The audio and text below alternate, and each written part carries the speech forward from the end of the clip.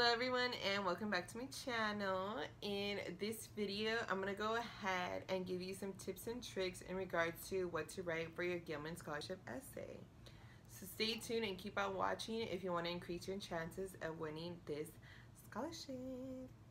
When applying for the scholarship, there are two essays you need to write and I'm here to help you write one of those essays.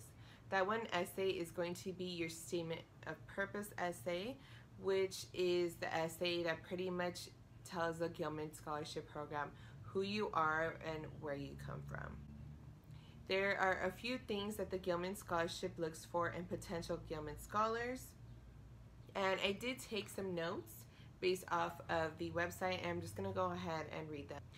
So one of the things that the Gilman Scholarship Program looks for is an undergraduate university student a university student who has a high financial need, a university student who is underrepresented in education abroad, first generation university students, uh, students who are studying STEM related fields, so students who are studying science, technology, engineering, or math, and students who attend HBCUs or historically black colleges or universities, students who attend minority serving institutions, students who attend community colleges, or students who study in regions of the world that are not as popular, such as Central America, South America, Africa, the Middle East, and Asia. Western Europe is probably the most popular study abroad destination, but the Gilman Scholarship looks for students who study in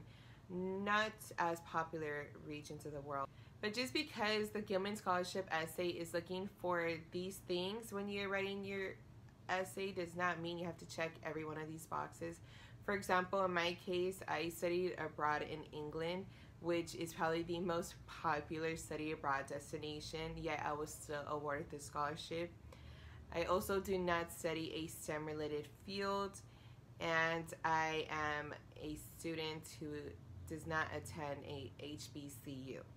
And remember, the Gilman Scholarship wants to know who you are as a person and where you come from.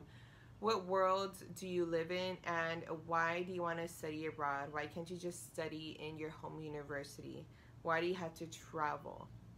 So before I conclude my video, I just want to say if you or someone you know is interested in studying abroad, please take a look at the Gilman Scholarships website.